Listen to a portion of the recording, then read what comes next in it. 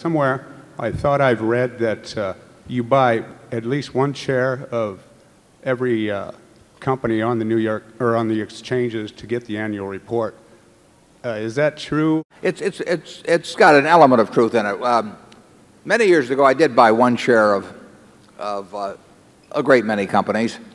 And I'd get these dividend checks for 8 cents and 10 cents.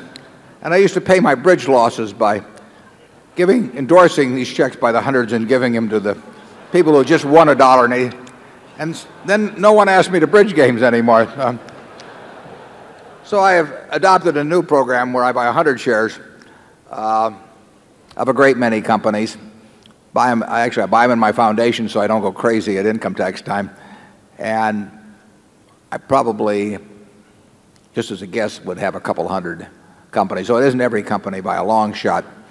Um, but there are at least several 100 companies where I want to be a registered shareholder um, and to make sure I get the mailings promptly.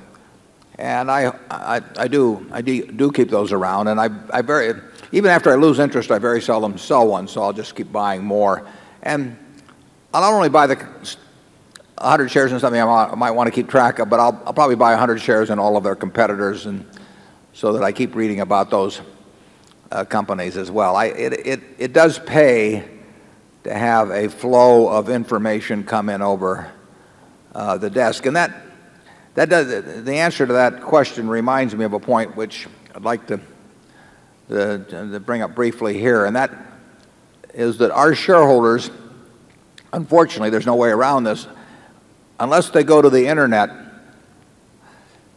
on the Saturday that we designate to read the annual report and where it's up on our, our home site, berkshirehathaway.com, are going to receive their reports at significantly different times. And the ones who have their shares in their own names are very likely to get those reports faster than the ones that have it have their shares held in street names. And from our standpoint, unfortunately, probably 90% of the shareholders we have have their name have their stock held in street names.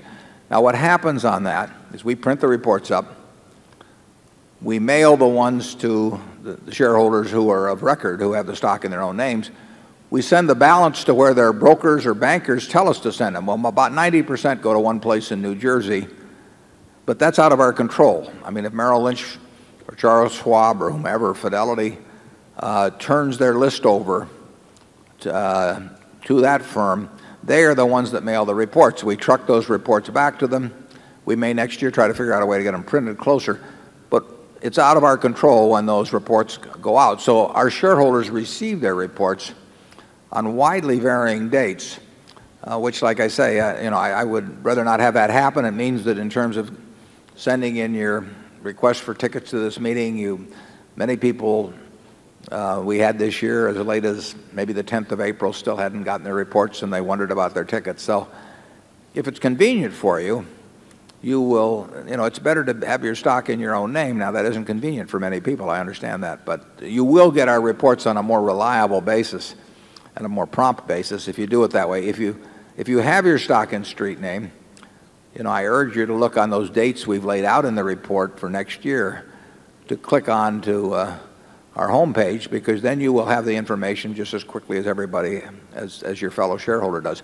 We want very much to have a level playing field and we, we want everyone to have access to the information as close to simultaneously as possible and during a time when the market is not open. We think that just makes sense. That's the way we would do it if we were running a partnership. Uh, but there is this problem with street name holdings of somewhat erratic distribution and that's the reason why when I want to keep track of say all of the companies in the pharmaceutical industry, I'll buy 100 shares of each one and I'll, I'll stick them in the name of the foundation and that mailing comes directly to me in Omaha.